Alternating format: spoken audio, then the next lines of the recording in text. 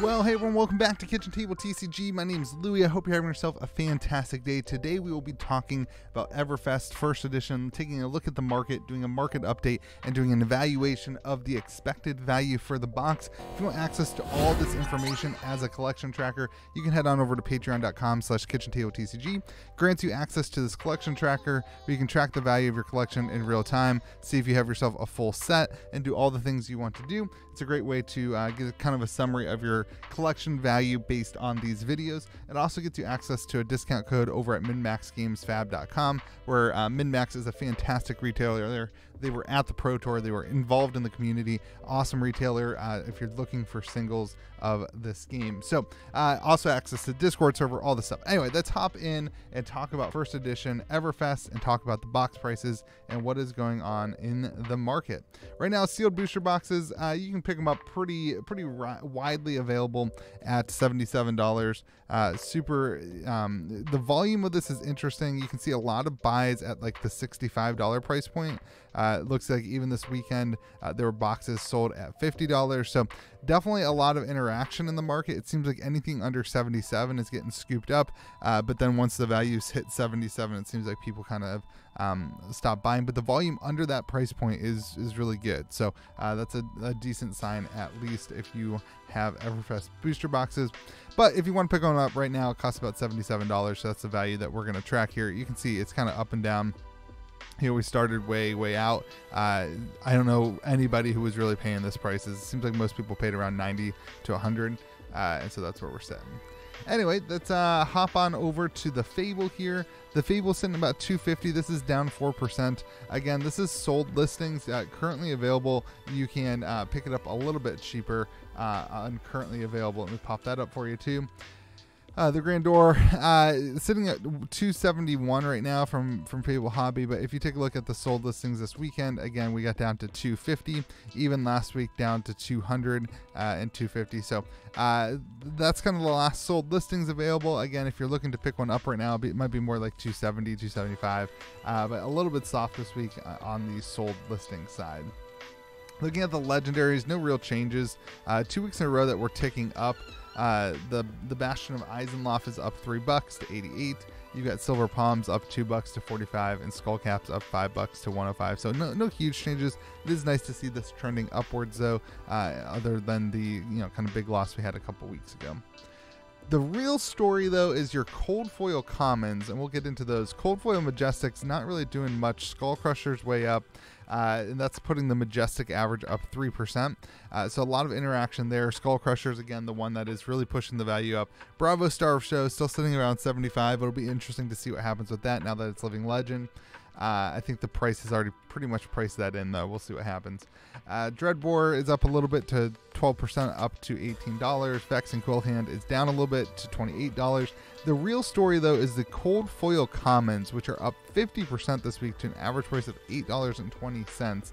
Uh, now, James White did say in a in the interview at the Pro Tour that the community hasn't quite figured out, basically, that these are more powerful than we are giving them credit for. So it'll be interesting to see if the community figures that out. But people took in took that and uh, took it to town and, and, bought up some cards. One of them being uh, Talisman of Warfare, which is the one that is up the most, up 272 percent for this Talisman of Warfare. Cold foil, cheapest copy right now you can get is 15 bucks. Uh, there's you know sold listings. You can see six at a time, two at a time, uh, three at a time. Definitely something that's gotten picked up by people who are specking on that, probably as a result of that statement. Uh, you've got some some uh, downticks already though, like Talisman of Cremation here is at five bucks, uh, and I was kind of looking at sold listings and where things were. Uh, and Talisman of Cremation, uh, you have sold listings even up to like seven, six, and now it's available for five again. So I don't know. We'll see if this holds. Uh, you know, you get one of these basically per box, so we'll see um, if, if this pushes more to the market or not.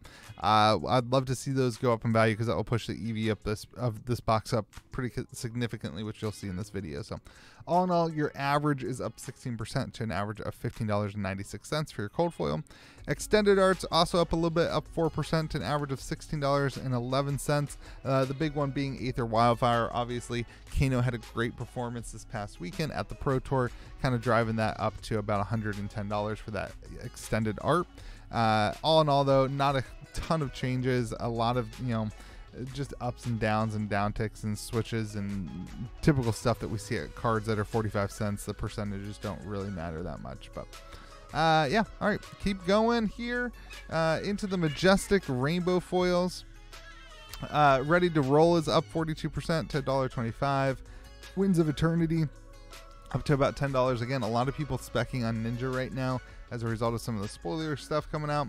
Uh, Teklo Pounder up, microprocessor, you know, Dash did decently well. We saw a lot of Dash games on camera at the Pro Tour, so maybe some people picking that up. Uh, again, Aether Wildfire is the story. Fractal Replication is another story. Sorry, that's my daughter uh, hanging out. But uh, yeah, a lot of movements, a lot of upticks uh, here on all the uh, Illusionist cards, all ticking up. Again, we have Illusionist spoiler coming out. Uh, a lot of people looking towards that, and Kano as well. So, uh, all in all, up 11% to $5.33 on average. Then get your regular Majestics, it's going to be about the same thing. Skull Crusher is a popular card right now, and Blitz. Uh, you've got Ready to Roll, a card that's kind of grabbing up, but it's just 29 cents, so nothing major to talk about. Uh, let's see. You've got where's our uh, Aether Wildfire is actually down on the rainbow non-foil side. That's interesting. Uh, Fractal Replication way up. A lot of those Illusionist cards up. It'd be really interesting to see what happens as we learn and see more about these uh, about these heroes that are coming up with Uprising. But all in all, your Majestics an average of $2.29, which is up 4%. Your Rainbow Foil rares are sitting at an average of uh, 26 cents. Regular rares don't really count. And your Rainbow Foil commons are sitting at an average of 12 cents. So as we get into this EV, um, keep in mind boxes for 77 bucks. This is the breakdown. You get about one extended art in every two boxes and uh, the cold foils are calculated out based on what we do know, which is the cold foil legendary and the fable. So it kind of calculates that out. Uh, based on that, your true EV, including all the cards, is sitting at $84.06. If you want to only include the Majestics through the Fable and the extended art, obviously, uh, you're sitting at $80.64 you take out the Fable and the Rares, so you're just looking at like a 10 box average, you're sitting at $74.39 because you are including the legendaries. But if you just open up one box, we're actually up pretty significantly this week to $38.54 because of those cold foil rares being so much better in this um, you know this new market where we, we know that information now. So it'd be really interesting to see if the community comes up with any actual deck lists that support kind of this idea that those cold foil rares are cheaper than they should be, and uh, it'll be interesting if that holds true. Let me know what you think in the comment section below. Again, if you want access to all this stuff as a collection tracker, you can head on over to patreon.com slash kitchen table TCG. Get yourself access to that Discord server as well as the uh, MinMax Games Fab discount code. So, Hope you guys are having yourself a fantastic day. Remember to be kind to the people around you, and we will see you again next video.